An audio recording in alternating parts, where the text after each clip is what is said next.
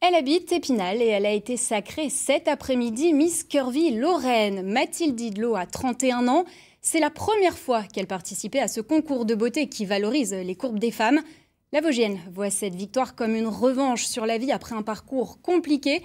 Jean-François Didier et Laura Poli étaient sur place au moment du résultat.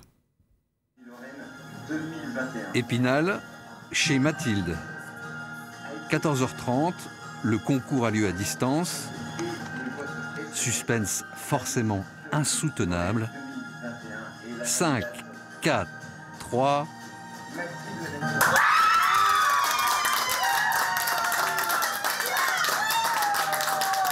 Sa copine Margot et son copain Alexis auraient bien voulu l'embrasser, mais bon, pas possible en ce moment. Le bouquet est envoyé par la maman de Mathilde, restée hors champ.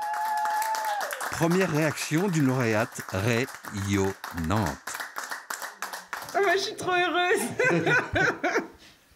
non, je suis vraiment, vraiment, vraiment heureuse. Je sais que toute ma famille, mes patients, mes proches, mes collègues, mes amis, enfin, tout le monde m'a soutenue.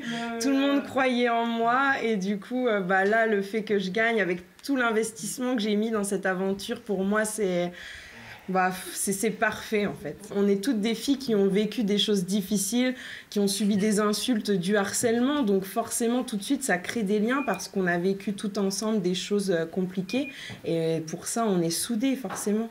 Sinon, dans la vie, Mathilde est une kiné très appréciée près d'Épinal. Elle a 31 ans, très entourée par sa famille et ses amis.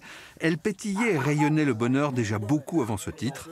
Alors elle va bien sûr tenter sa chance au concours Curvy national.